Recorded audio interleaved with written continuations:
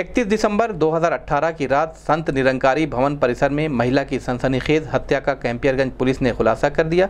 Police द्वारा घटना की गहराई से तफ्तीश करने पर मृतिका रेखा की हत्या उसके खुद के पति द्वारा किए जाने का साक्ष्य सामने आया, जिसको लेकर मृतिका के पति से कई बार पूछताछ की गई, किंतु कोई लाभ नहीं मिल पा रहा था। एफएसएल की रिपोर्ट से इस बात की पुष्टि हो गई कि मृतिका रेखा के साथ किसी प्रकार का बलात्कार नहीं हुआ था। तफ्तीश के दौरान मृतिका की बहन व बच्चे द्वारा बताया गया कि किन्हीं बातों को लेकर पति पत्नी में अक्सर विवाद हुआ करता था। तब इस बात की पुष्टि और अधिक हो गई कि उसकी हत्या उसके पति द्वारा ही की गई होगी। इस मामले का खुलासा करते हुए पुलिस में रेखा के हत्यारे उसके पति गोविंद पुत्र राम सुमिरन, निवासी लेदवा थाना शोहरतगढ़ जनपद सिद्धार्थनगर को गिरफ़्तार किया और उसके पास से पुलिस आला कत्ल राड भी बरामद किया। पुलिस लाइन सभागार में घटना का खुलासा करते हुए एसपी नॉर्थ अरविंद कुमार पांडे और एसपी सीओ कैंपियरगंज रोहन प्रमोद बोत्रे ने बताया। इतने के बावजूद भी हम ये मानते हैं कि इस आदमी की आत्मा ज़िंदा है। ऐसा नहीं है। इसको जो कुछ इस बात का अफसोस भी है अपने बच्चों को चेहरे देखते देखो हमने इनकी एक बार पूछताछ क्राइम ब्रांच में भी की थी। क्राइम ब्रांच में पूछताछ करने के बाद हो सकता है उसके बाद इनका कुछ जो होता है ना अंदर का कुछ जाग उठा हो और इन्होंने फिर over the period of time election के इलेक्शन का भी टाइम था तो लगातार प्रयास भी हमारे जारी थे। इसी इसको जब हमने फिर से एक बार पूछताछ के लिए बुलाया अच्छी तरीके से मनोवैज्ञानिक तरीके से इसकी पूछताछ की गई थी। किसी भी प्रकार का उसको ये नहीं पहुँचाया गया। क्वेश्चन आंसर फॉर्मेट में उसको सीन पे भी लेके गए क्या हुआ कि रिकस्टर्ड इसी से करवाया सीन को। चूँकि वो सत्संग का गेट जो था वो काफ़ी ऊँचा गेट था। एक कांस्टेबल को हमने वहाँ पे कूदवाने की कोशिश की थी। तो अगर एक होश में अगर जो कांस्टेबल है उसको वो कूद नहीं सकते जो कि फिट है तो पिए हुए लोग उसको कूद नहीं सकते। हैं ये हमें पता चला। तो वो थियोरी जो थी इनकी वो तो गलत हो गई। इसी तरीके से क्वेश्चन आंसर फॉर्मेट में इन्होंने हमने इनको पकड़ा है। तो नशे में भी थे क्या उस दिन? नशे में थे। पूरा। नशे में और इसमें इसमें पूरी कैंपेयरगंज टीम का बहुत अच्छा रोल रहा है लगातार इस केस पे बने रहे अच्छे से काम किया नहीं बताएँगे। नहीं ऐसे बाधा कहानी में बैठे थे काफ़ी रात नहीं नहीं जैसे जब मार दिए तो उसके बाद ये तुरंत ही तय कर लिए थे कि यही बताना है कि तीन आदमी आए थे। नहीं नहीं गुस्से के बाद नहीं जो कहानी बनाए थे तुम तीन लोग आए थे तीन आदमी आए और ये घटना किए उसके बाद हत्या करके भागा हम्म? तो तुरंत पहले से प्लान बनाए थे कि यही बताना है कि तुरंत बनाए थे प्लान।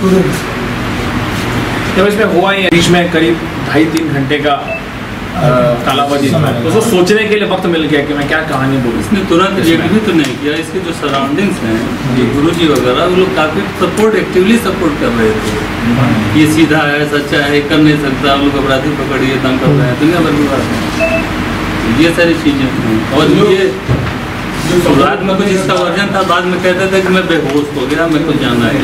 ये तो है कहते थे मैं बेहोश हो। गया कोई निशान नहीं थे।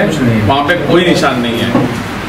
हमने वहाँ पे फोरेंसिक पूरी टीम को बुलाया था। कोई उनको निशान मिले नहीं है वहाँ पे। जो धूल उस मृतका के ऊपर थे वही धूल इनके ऊपर वो पटका पटकी इनके कपड़े वगैरह फटे हुए थे। फिर दोनों के कपड़े फटे थे। इसकी भी पैंट फटी हुई थी। तो उन्होंने भी इनको कहीं ना कहीं मारा होगा। ऐसे बात विवाद क्यों किए?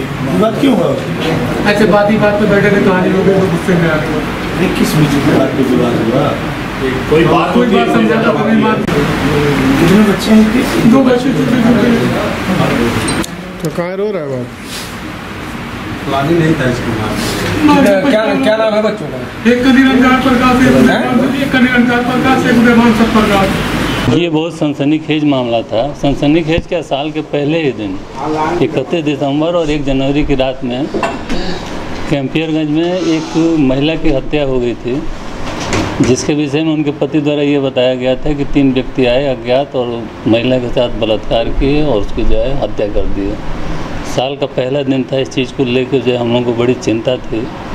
शुरुआती परिस्थितियाँ ऐसी थी जिससे लगता था कि जो है ये गलत बोल रहा है। लेकिन साइंटिफिकली करते करते करते करते इनको जो है, हम लोगों ने क्राइम सीन को पूरा रिकन्स्ट्रक्ट करवाया। हमारे S O S H O Campierganj इस मामले में लगे रहे, जो नवागत हैं, राणा देवेंद्र प्रताप सिंह, तब जाके जो है, इससे, इसको जो है, बहुत साइकोलॉजिकली और क्राइम सीन का रिकन्स्ट्रक्शन करने क्राइम सीन पे इसको हम लोग लेके गए। तब इनके द्वारा जो है, स्वीकार किया गया कि साहब वस्तुतः जो है, ये हत्या इन्हीं के द्वारा की गई है। और इसमें इन्होंने आला कतल भी बरामद किया है, डंडा। मुख्य रूप से यह बात आई कि पत्नी गुस्सैल और चिड़चिड़े स्वभाव की थी। उस रात इनका और पत्नी का जो झगड़ा हुआ, आवेशित होकर जो इन्होंने पत्नी के साथ मारपीट की और मारपीट ज़्यादा हो गई, जिसके परिणाम स्वरूप जो उसकी मृत्यु हो गई। तो एक ये काफ़ी दिनों से लंबित केस था और बड़ा महत्वपूर्ण केस था। मीडिया में इसको बहुत ज़्यादा जो है, छापा गया था। उस समय जो है उसको जो है उद्घाटित करने में आज हमारी टीम को सफलता प्राप्त हुई है। अब इसके द्वारा ये बताया जा रहा है कि पत्नी थोड़ा तेज स्वभाव की थी और इसको जो है तमाम बातों को लेकर कुछ उसके चरित्र पर भी ये जो शक आता था। इन बातों को लेकर जो है लड़ाई हुई और पत्नी भी आक्रामक रहती थी। इस बात को लेकर जो पत्नी के आक्रामक होने पर बात बढ़ गई और उस दिन इनके द्वारा ये घटना कारित कर दी अब कोई भी अपराधी अपराध करने के बाद पुलिस को भ्रमित या बचने का प्रयास करता है, लेकिन हम लोग भी कंटिन्यूसली लगे रहते हैं और लगातार लगे रहने पे इनकी जो है call detail crime crime scene का रिकन्स्ट्रक्शन डिटेल इंटीग्रेशन बाकी जो चीज़ें हैं, जैसे मृतका के मायके वाले थे, वो शुरुआत से इस पक्ष में थे कि ये आदमी सही नहीं बोल रहा है। तो ये बात आई कि मृत्यु के बाद ये अपने बच्चों को जाने नहीं दे रहा था। ननिहाल में। बच्चे भी धीरे धीरे करके जान गए थे, लेकिन बातें उद्घाटित न हो ये जब सारी चीज़ें छन के आए तो फिर जो है इनके द्वारा चीज़ें स्वीकार की गई और आला कतल भी बरामद दिया गया।